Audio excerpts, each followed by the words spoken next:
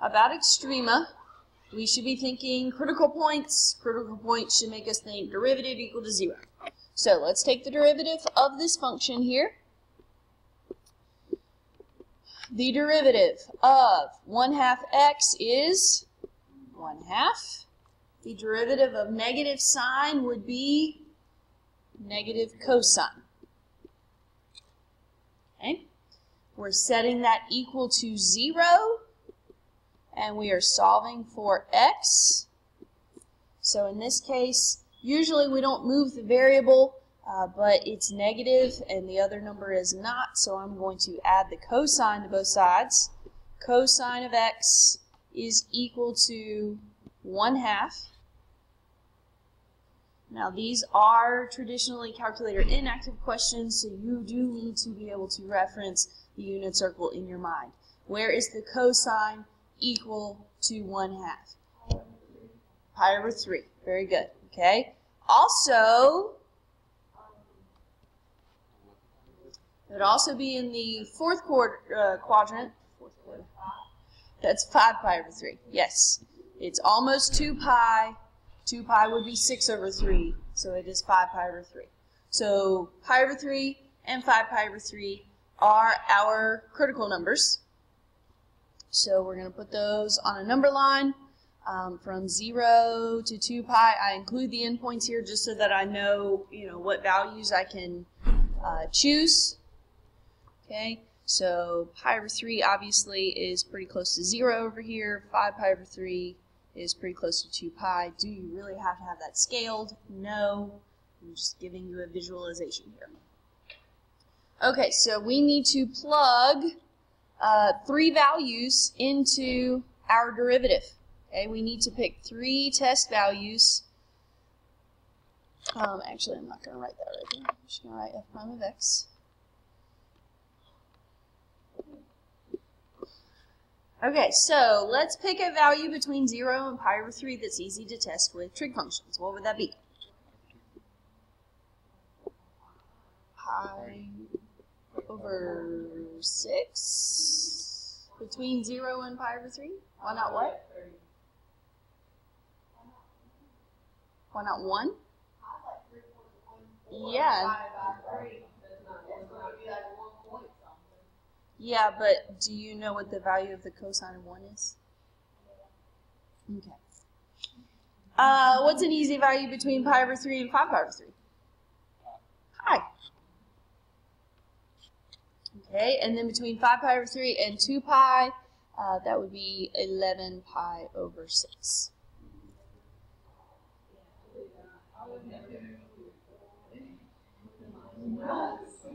Okay, so let's plug these into the derivative. I am actually going to write them out this time just so we can see what we're doing.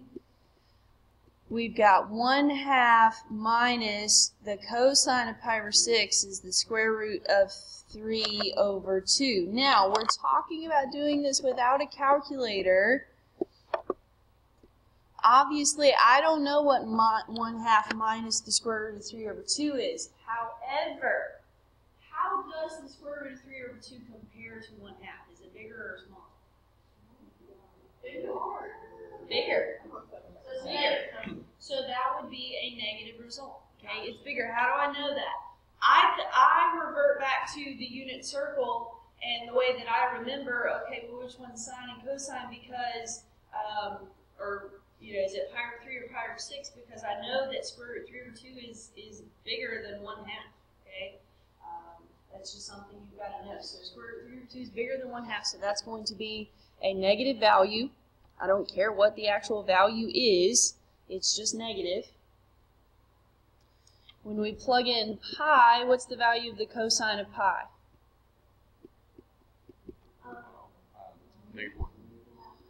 It is negative 1.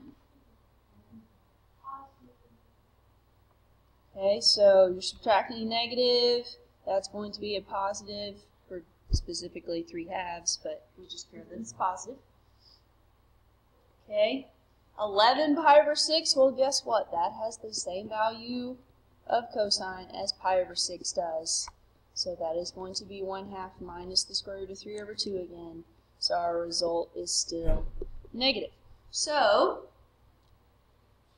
that means at pi over 3, our derivative changes from negative to positive, meaning my original function changes from decreasing to increasing, creating a minimum. At 5 pi over 3, my derivative changes from positive to negative, meaning my original function changes from increasing to decreasing, which means that's a maximum.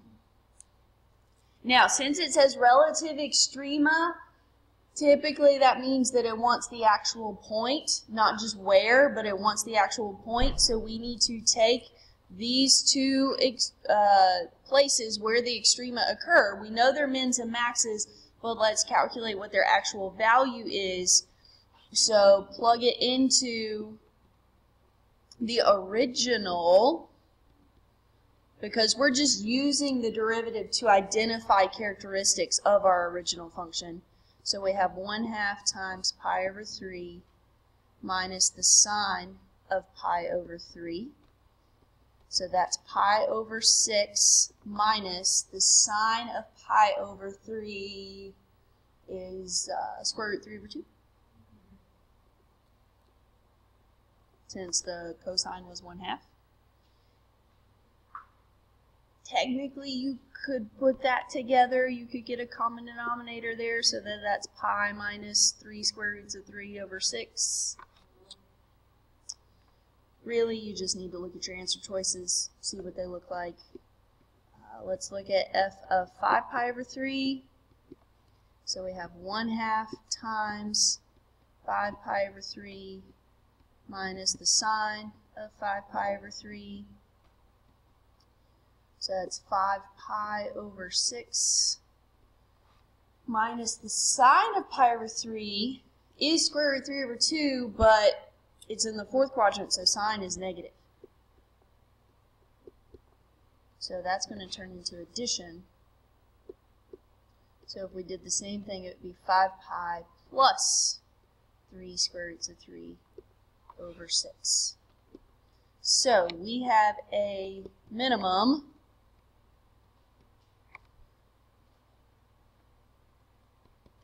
at pi over 3 pi minus 3 pi, or excuse me, 3 square roots of 3 over 6. And we have a maximum at 5 pi over 3, 5 pi plus 3 square roots of 3 over 6. Okay. These are going to be multiple choice questions, so you don't have to get super bent out of shape of of how exactly to write it, but you just need to clearly identify minimum, maximum, x and y coordinates.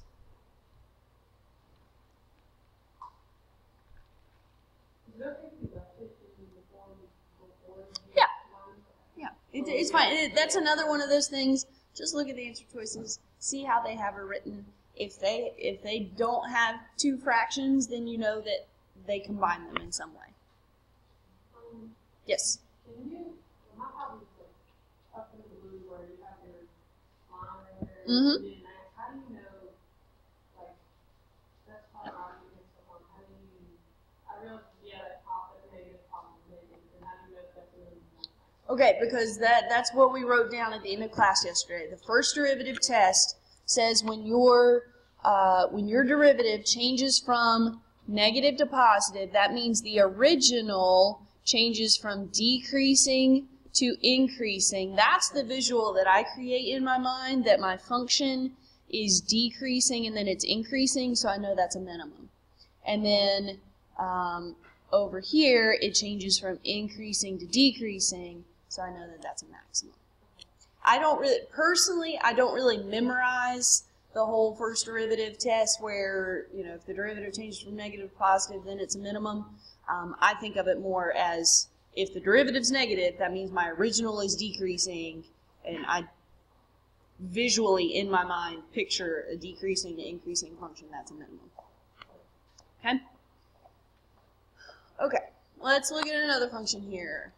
F of x is equal to x squared minus 4 to the 2 thirds. Now, we kind of need to get in the habit of when we're given a function to kind of visualize what we're talking about here. Uh, this is obviously kind of a strange function. It's raised to the two-thirds, but think about what the two-thirds power means. Power over root. That means we're squaring an expression and we're taking the cube root of it. So we're not going to have any issues with our domain, okay? Because if you square something, the result's always going to be positive, okay? But even if we didn't square it, you can take the cube root of negative numbers as well. It's just you can't take the square root of negative numbers. Cube roots are cube roots are fine of negative numbers. Um, so we don't have any domain issues here. All right, so let's go ahead and proceed by taking our derivative and setting it equal to zero because it asks for extrema. Extrema come from critical numbers. Critical numbers come from setting the derivative equal to zero. And yes, it is tedious that I keep on repeating that, but the more you hear it, the more it's going to get ingrained. That, that's just your natural reaction. Taking the derivative of this, it's a chain rule. Bring down your exponent, subtract 1 from the exponent, don't forget that part, times, also don't forget to multiply by the derivative of what's on the inside. The derivative of the inside is 2x. So when I set this equal to 0, I'm also going to kind of clean things up a little bit. Um, that is 4x. I multiplied the 2 times the 2x. That's a negative power. What does that mean? I'm going to move it to the denominator. So I had 3 in the denominator, and I'm also going to move the x squared minus 4 to the 1 third to the denominator. Now, don't forget, critical numbers are not only when the uh, when the derivative is equal to 0. Critical numbers also occur when the derivative is undefined. Okay? Which only happens in cases where we have denominators. Well, guess what? We have a denominator here. So not only do we need to set the numerator equal to 0, we need to set the denominator equal to 0. So setting the numerator equal, divide by 4. Do I really want you to write out, take the time to write out divided by 4? No, I'm just trying to show my work when you look back at the examples. Okay. On the AP exam, please save yourself some time and don't write out every single step. Okay, over here, divide by 3. Well, when you divide 0 by 3, you still get 0. And then we raise it to the third power. Well, we still get 0. So x squared minus 4 is equal to 0. Two ways to solve this. We can solve it by square roots. Okay. Um, by adding 4 and taking the square root. The only thing that I caution you to do uh, about that is do not forget the plus or minus. So that is plus or minus 2. Okay. Um, the advantage to factoring is that you guarantee that you get both solutions. Okay, you could have also done x plus 2 times x minus 2, and obviously that way you don't forget about the negative. Okay, just have in the back of your mind x squared, I should have two solutions. Okay, anytime x squared is involved, usually we have two solutions, unless it's like x squared minus 1. Okay, then, uh, well, no, you still have two solutions. Never mind. Unless it's x squared equals 0, that's the only time you'll have one solution. Okay, number line, 0, negative 2, positive 2, we need one, two, three, four test values. You always need one more test value than you have critical numbers. I'm going to pick the simplest numbers possible, negative 3, negative 1, positive 1, positive 3. And plug those into my derivative.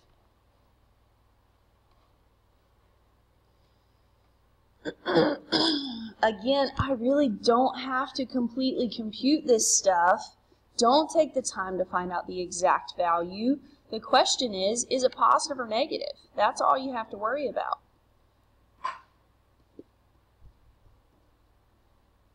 So when we plug in negative 3, the numerator is negative, because it's 4 times negative 3. The denominator, let's see here, I square negative 3, so that becomes positive 9. 9 minus 4 is 5. I don't care what the cube root of 5 is. I just know that it's positive, and I'm multiplying it by